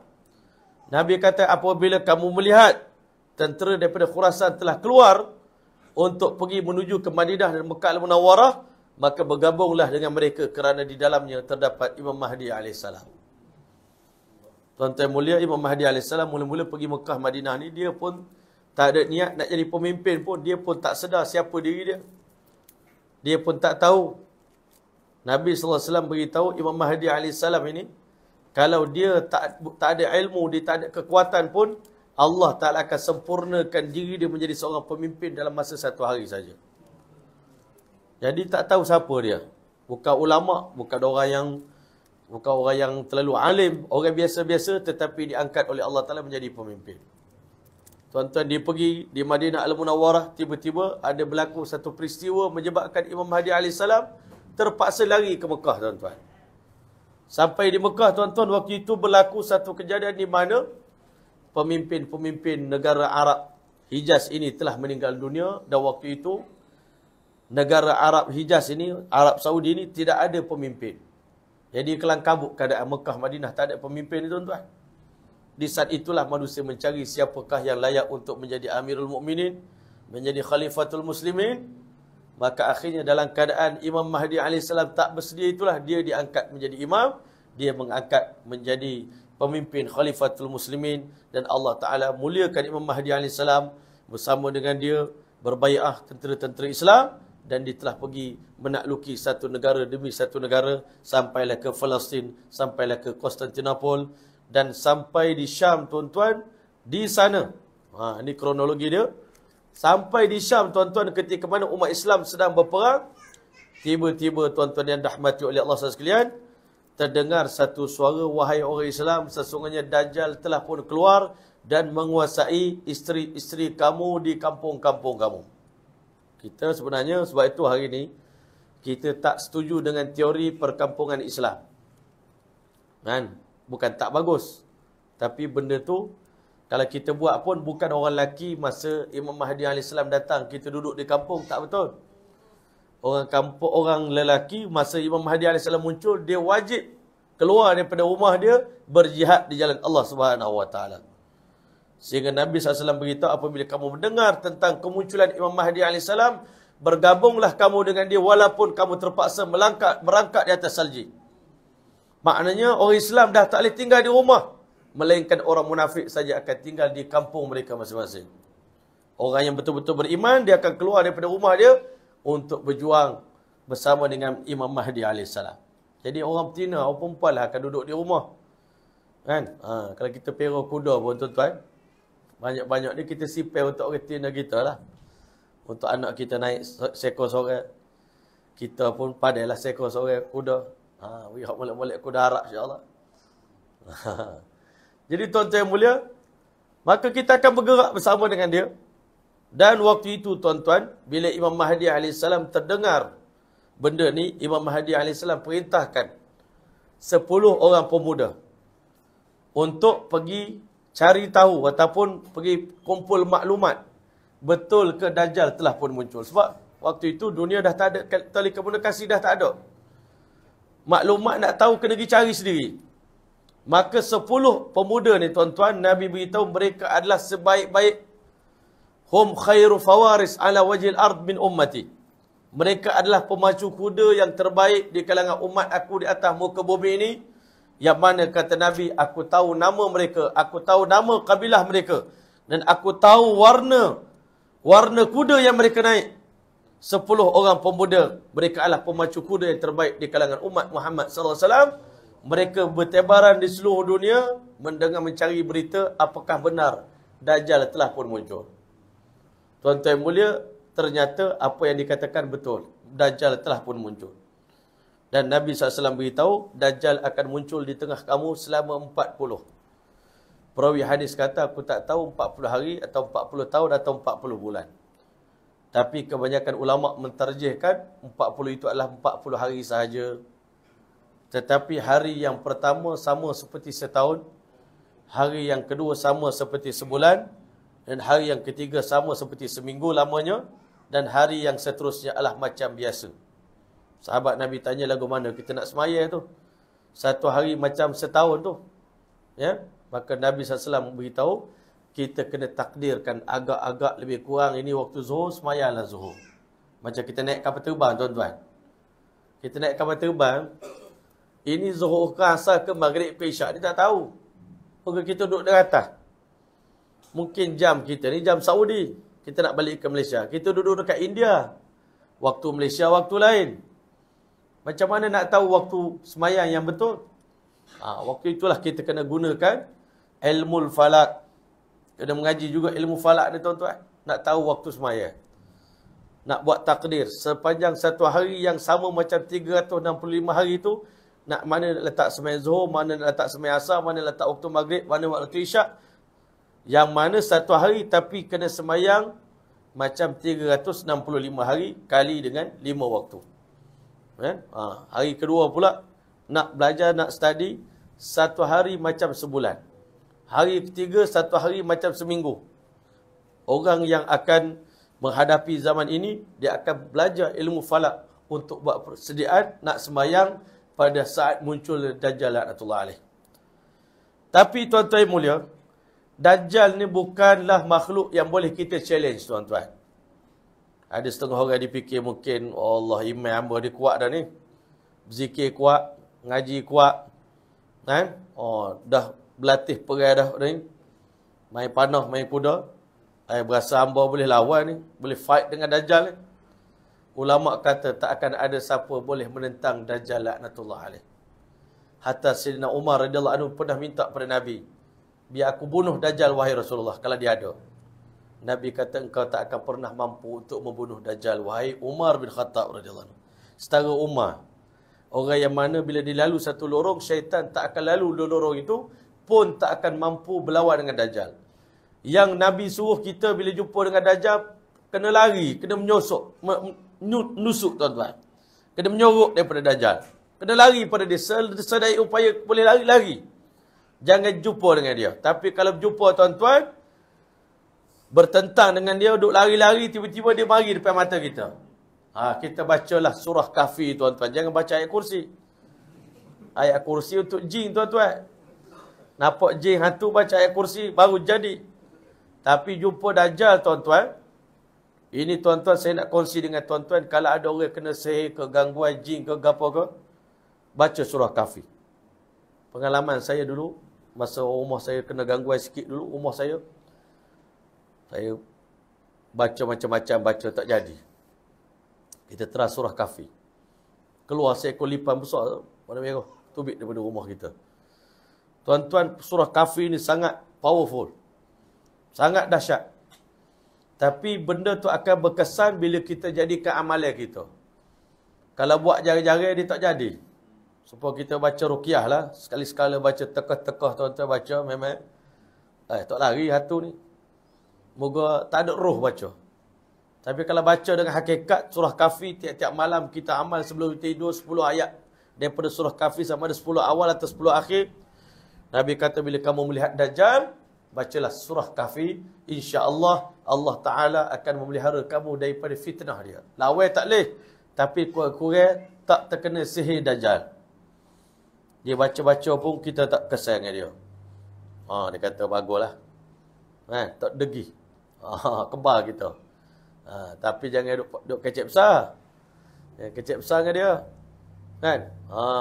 Jadi tuan-tuan mulia. Dalam ramai-ramai Islam ni ada satu orang pemuda yang challenge Dajjal. Dajjal kata aku adalah Tuhanmu. Dan Dajjal ni bawa mari satu kuasa yang sangat hebat. Allah bagi kepada dia ni kekuatan yang sangat luar biasa. Dajjal ini maknanya pembohong, penipu. Kuasa dia pun tipu juga. Dia bawa syurga di tangan tangan kiri dia dan neraka di tangan kanan dia. Maka Nabi SAW beritahu, kalau dia campakkan kamu ke dalam neraka, kamu terjunlah. Kerana sesungguhnya di dalamnya ada air yang sangat dingin. Itulah syurga sebenarnya. Neraka Dajjal itu adalah syurga bagi orang beriman. Dan syurga Dajjal yang tengok sedap seronok itu sebenarnya itulah nerakanya bagi orang beriman. Nah, ini sebenarnya benda ni akal kita dah tak tak boleh mikir dah tuan-tuan. Tapi manusia ni, waktu Dajjal nak mari tu Allah Ta'ala uji tiga tahun sebelumnya, hujan setitik pun tak turun. Jadi manusia semua nak air. Dajjal boleh uguk kita tuan-tuan. Dengan air saat ni, dia boleh uguk kita, boleh uguk bini kita, boleh uguk anak-anak kita. Orang ni dah lapar tuan-tuan, sanggup buat apa saja. Sebab itu di antara latihan kita ni di akhir zaman ni tuan-tuan, kena latih banyak berzikir. Kalau tuan-tuan rasa email lemah tuan-tuan. Ada orang mengaku jumpa kita. Ustaz email lemah lah ni Ustaz. Hei, semuanya subuh pak, pakai itu sokmo dah lah ni. Pakai lewat sokmo dah. Kan? Pukul 9, pukul 10 bangun. Hei, tak tahulah nak jadi apa. Jadi lagu mana nak buat? Kena banyakkan zikir sebanyak-banyaknya. Zikir sebanyak-banyaknya tuan-tuan. Zikir, zikir, zikir sampai roh kita ni power dia naik semula tuan-tuan. Ada sayang kita ajar istighfar seribu kali. Time kita tengah lemah iman itu istighfar seribu kali. Dia penuh semula tuan-tuan dosa kita. Kena latihan. Siapa kita berzikir ni boleh kenyai. Daripada lapar boleh kenyai. Masya Allah. Dah train dah tuan-tuan. Pernah buat tak? Hari ni tak saya sarapan pagi lah hari ni. Terap zikir. Siapa kenyai? Kalau boleh tu kan Alhamdulillah lah. Ha? ha, siapa kerja kita zikir. Itu memang power lah. Lagi satu tuan-tuan, selamat kita daripada fitnah Dajjal dengan banyak baca Quran. Dajjal tak akan boleh merosakkan pemikiran orang yang selalu baca Quran. Tak baca Quran kak, lah ni jangan kata Dajjal. Handphone pun boleh penuhkan pemikiran kita dah. Handphone ni. Jadi dia pula kontrol kita. Jadi otak kita ni asyik dengan dia je. Kata ini belum dah jam hari lagi. Baru anak anak cucu Dajjal je mari tuan-tuan. Kita habis dah dengan handphone ni. Anak kita pun habis dah tuan-tuan. Orang kecil-kecil. Bagi handphone kat pakat kumur. Jadi kita balik ke rumah tuan-tuan, kita ingat dia duduk dekat dengan kita tu kerana nak bergurau dengan kita. Pakat kumur ayah. Rupanya nak seluk poket jubah kita ni tuan-tuan. Ambil handphone. Ah kata ini Masya Allah. Hebat ujian akhir zaman ni. Ayah pun kena, mak pun kena, tok pun kena. Kan? Ha, itu gambaran dia tuan-tuan. Jadi tuan-tuan mulia, seorang anak muda ni pergi jumpa dengan Dajjal, dia kata aku yakin mu 100% Dajjal. Sebab dia kata Tuhan, aku ni Allah Ta'ala yang boleh menghidupkan dan mematikan. Dajjal kata aku pun boleh hidupkan manusia dan boleh mematikan manusia. Dia kata memang mu boleh buat, tapi sekali yang boleh buat. Tak percaya belah kepala aku. Dia pun Dajjal belah kepala dia. Orang ramai tengok Allahu Akbar. Hebat Dajjal. Dajjal pula ambil badan budak muda ni. Belah dua. Asingkan separuh duduk sini, separuh duduk sini. Dajjal lalu di tengah-tengah dia. Nak ajak ke dia, budak ni mati dah. Lepas tu dia hidupkan kembali budak tadi. Cantum semula, hidup, bangun. Dajjal kata tengok betapa hebatnya aku boleh menghidupkan dan mematikan manusia. Orang semua pakat cahaya belakang. Budak tadi kata kalau mau betul Tuhan, Allah Ta'ala Cuba sekali lagi. Cuba sekali lagi bunuh aku. Dajjal tak mampu nak bunuh dia dah. Dajjal cuma bagi Allah bagi peluang kepada Isa AS dan kepada Dajjal laknatullah alaih ni. Ulama kata dua-dua namanya Al-Masih. Masih Dajjal dengan Al-Masih Isa AS. Tuan-tuan, kenapa dinamakan Dajjal ini Al-Masih? Kerana tapak kaki Dajjal ini boleh bergerak daripada satu negara ke satu negara dengan waktu yang paling singkat. Sementara dia pergi Malaysia, dia pusing, pop, sampai Indonesia dah. Pusing sekejap, pop, masuk Thailand. Thailand sekejap, pop, sampai ke Filipin, sampai ke Kemboja. Dalam masa beberapa waktu je. 40 hari dia nak kontrol, nak pusing dunia. 40 hari dia jelajah dunia habis, tuan-tuan. Itu dipanggil Al-Masih. Tapi Allah Ta'ala buat, yang akan lawan Ad-Dajjal ini bukanlah Imam Mahdi AS. Imam Mahdi pun tak nak lawan Dajjal.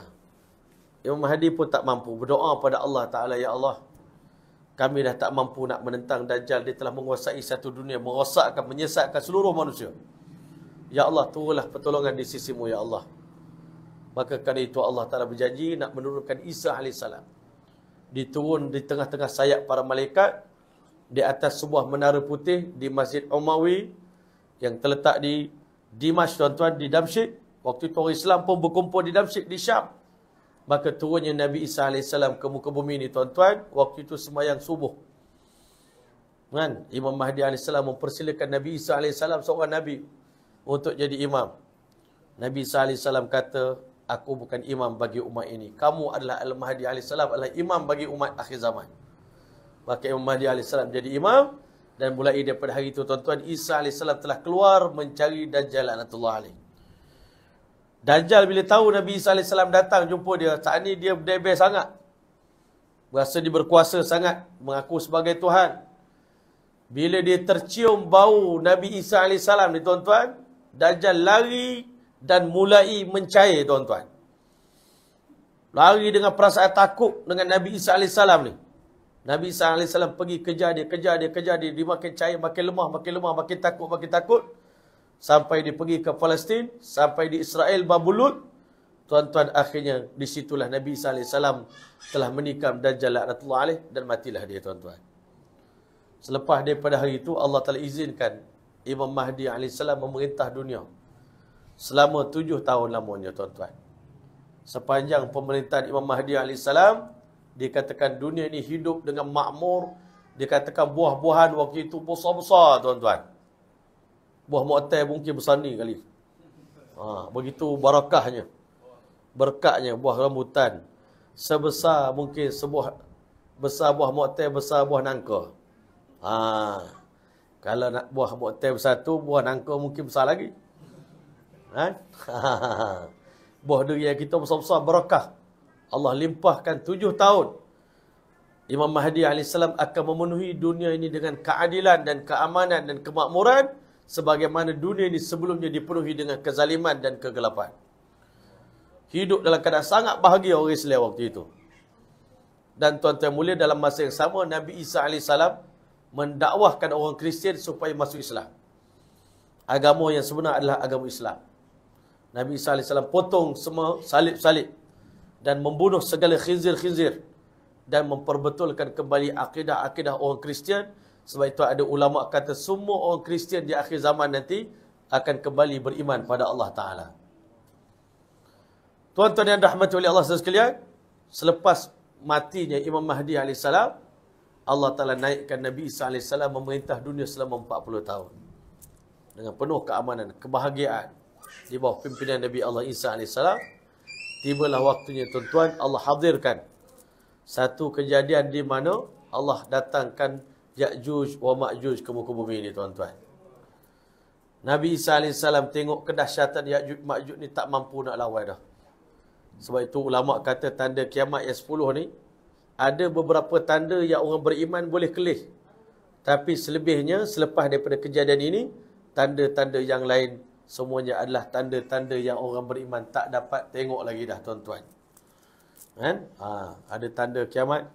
Salah satu daripadanya adalah terbitnya matahari daripada sebelah barat.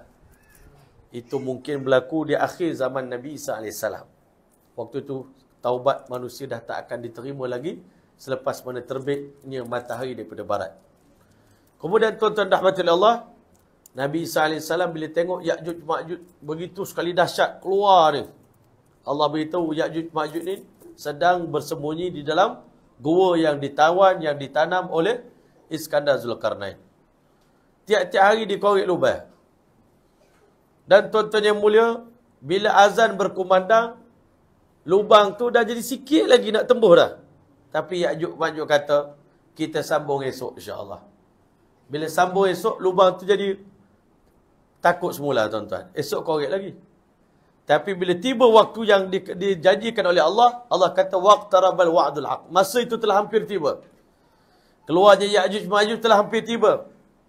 Hatta idha futihat Ya'juj wa Ma'juj, apabila pintu Ya'juj Ma'juj telah terbuka, wahum min kulli hadabin yansilun mereka turun daripada gunung dalam keadaan menggelusur masya-Allah masuk dalam air tuan-tuan saya masa saya jadi imam di Jepun tuan-tuan kadang-kala saya fikir gempa bumi dekat Jepun ni sebab apa saya kata Jepun ni dekat dengan Rusia Memanglah Rusia ni tempat Ya'juj Ma'juj Georgia dia orang kata tak? Tempat Ya'juj Ma'juj dekat Georgia katanya. Tapi dia duduk dalam tanah ni membiak satu keluarga dia ramah lah macam manusia. Saya terfikir ni gempa bumi ni silat-silat air bulan ni apa nama dia buat dalam tanah tu gedegung gedegung gedegung jadi gempa bumi dekat Jepun. Saya ni pula kebetulan masjid yang saya jadi imam ni buka pintu depan Gunung Fuji. Gunung Fuji Yaman besar depan masjid saya. Eh kalau ikut hadis ni macam dekat sini saya kata. Sebab Nabi kata dia turun daripada, dalam hadis sebut turun daripada bukit yang tinggi terjun dalam laut. Bila Ya'juj Ma'juj turun dalam laut tuan-tuan, dalam dalam ada kata dalam kolam, ada kata dalam laut. Puak-puak atas tu royak kata orang di bawah, jangan minum air tu sampai kering. Tinggallah juga sebahagian untuk puak-puak kami. Kami pun dahaga juga ni lama tak tak minum ni. Tapi dia katakan begitu banyaknya bilangan Ya'juj Ma'juj dan brutal tuan-tuan. Golongan yang pertama turun ke bawah. Golongan kedua baru sapa, air kering dah tuan-tuan. Ha, dahsyat Ya'juj Ma'juj tuan-tuan. Ha, sangat brutal. Sampai semua manusia telah dikalahkan, Nabi SAW pun tak mampu lawan Ya'juj Ma'juj. Akhirnya Nabi SAW berdoa pada Allah Ta'ala. Minta Allah telah hapuskan Ya'juj Ma'juj. Ya'juj Ma'juj telah kontrol dunia. Dan dia kata habis sudah manusia di bumi telah kita tawan. Ayuh kita lawan dengan orang langit pula. Malaikat-malaikat di langit. Kita nak berlawan, nak fight dengan malaikat pula. Allah Ta'ala fitnahkan Ya'juj Ma'juj. Dia panah ke langit tuan-tuan. Banyak anak panah, panah, panah, panah tuan-tuan. Turun hujan darah. Ya'juj Ma'juj kata semua malaikat-malaikat pun dah mati. Jadi kita yang kontrol dunia sekarang. Nabi Isa AS duduk dalam bukit tuan-tuan doa pada Allah. Ya Allah kami tak mampu. Tolonglah hantar bantuanmu ya Allah. Tuan-tuan Allah telah hantar sekumpulan virus datang. Dan menyerang Ya'juj Ma'juj. Sampai akhirnya semua sekali mati bergelimpangan. Busuk pula tuan-tuan. Busuk bau bangkai ni. Bangkai Ya'juj Ma'juj. Nabi SAW jadi pening pula orang Islam duduk dalam bukit. Kan? Bukit mana wallahu a'lam. Tapi tuan-tuan mulia, sampai tahap di mana Nabi SAW berdoa, Ya Allah, angkatkanlah bangkai-bangkai ini daripada dunia ini. Allah telah hantar pun sekumpulan burung datang, tuan-tuan. Angkat bangkai itu dibuang. Ke mana tak tahu. Akhirnya bersih dunia daripada bangkai Ya'juj dan Ma'juj. Waktu itulah Allah telah hantar kemudiannya. Angin yang datang daripada negeri Syam bertiup dan mencari setiap orang yang beriman. Lalu di bawah ketiak dia tuan-tuan, angin tadi akan mencabut nyawa semua orang beriman. Semua orang beriman, walaupun sebesar zarah dalam hati tidak iman, semuanya akan mati. Selepas daripada itu, tidak tinggal dalam dunia ini, melainkan orang kafir dan Nabi SAW beritahu tak akan berlaku kiamat selagi ada orang ucap Allah, Allah, Allah. Tapi bila semua orang Islam dah mati, tak ada lagi orang ucap Allah, maka tuan-tuan yang mulia, yang ada di waktu itu adalah orang kafir bersama dengan Ya'juj dan Ma'juj. Mereka masih lagi tuan-tuan meneruskan kehidupan mereka, sibuk dengan bisnes. Tengah-tengah mereka sibuk dengan dunia, makin durhaka pada Allah. Hidup mereka macam binatang waktu itu tuan-tuan. Akhirnya Allah Ta'ala pun datangkan kiamat di tengah-tengah itu. Maka akhirnya dunia ini dihancurkan oleh Allah dengan sehancur-hancurnya Masya Allah. Jadi kita dah dekat dengan zaman itu tuan-tuan. Kan? Ha. Ada ulama pula buat kajian. Umur umat Nabi Muhammad SAW ni cuma 1500 tahun. Dan kita fikir-fikir balik 1500 tahun, sekarang dah 1444. Kan? Dan semua tempoh itu akan berlaku period yang kita sebut tadi. 40 hari Dajjal mari, 7 tahun Nabi SAW memerintah, 40 tahun Nabi SAW memerintah, agak-agaknya berapa tahun lagi? Dengan peperangan Malhamah Kubra, Malhamah Sura, dengan cerita tadi 7 bulan antara Madinah dengan penaklukan dan keluarnya Dajjal tadi tuan-tuan, susu-susu balik kita ni memang betul-betul diambang kiamat tuan-tuan. Jadi kan itulah tuan-tuan rahmati Allah. Bila mana ditanya oleh sahabat Nabi sallallahu alaihi wasallam kepada Nabi sallallahu alaihi wasallam, "Mata taqumus sa'ah ya Rasulullah?" Bila kiamat nak berlaku, Nabi tanya, "Famadza a'datta apa persiapan kamu menghadapi hari kiamat?" Yang paling penting persiapan kita tuan-tuan. Yang cerita tadi kita tak boleh nak lagi dah skrip tu memang berlaku. Cuma kita nak letak di mana diri kita tuan-tuan. Keluarga kita nak letak di mana. Dan persiapan ini tuan-tuan, orang yang beriman dah buat persiapan pun belum tentu selamat. Apatah lagi orang yang tidak buat persiapan sama sekali. Jadi mudah-mudahan kita doalah pada Allah Ta'ala. Hanya Allah yang mampu selamatkan kita. Jangan pernah sombong ingat kita ni kuat. Oh, rasa kita ni gagah. Rasa kita ni mampu.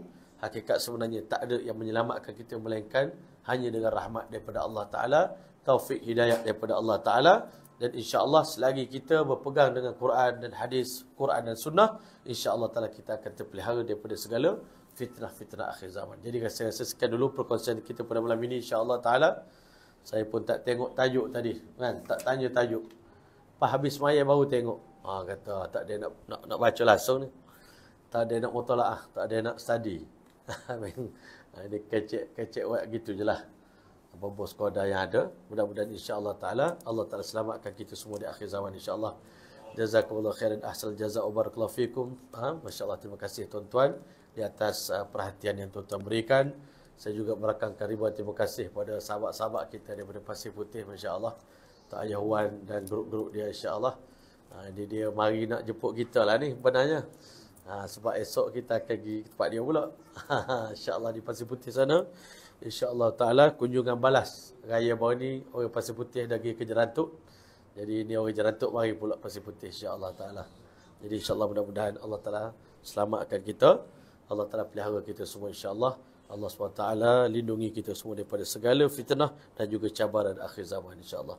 Sekian aku qul hadza astaghfirullahalazim wa lakum lisa'il muslimin wal muslimat rahim. Wassalamualaikum warahmatullahi wabarakatuh.